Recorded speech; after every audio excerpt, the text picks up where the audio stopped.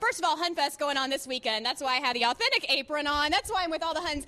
The best Hon in Baltimore is Blaze Shar, and you have actually documented your last year. I did. This is a, a documentary of my years, Balmer's Best Hon, and it includes lots of charity events, lots of artistic shots, and it will be for sale this weekend at Honfest only. We have a limited quantity, so come on out this weekend to Honfest. All the Hons are ready this morning. How are you feeling this morning, everyone? I'm good, hon. I don't think you're ready, though. I I'm ready. think- Hold I'm we gotta ready. go, gotta Oh no!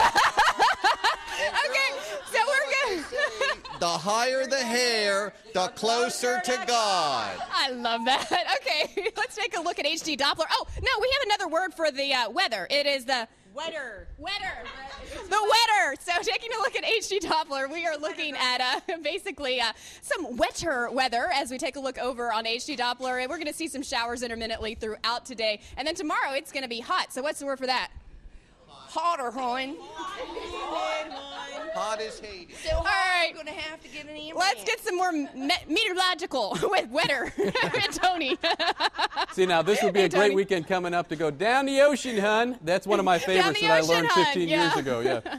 When I first moved All to right. Baltimore, that was my favorite uh, Baltimoreese. Going down the ocean, hun. well, there you go. Exactly. Love She's got it. it in her book. Thank you. That's Okay. probably in her book. Thank you, Sandra.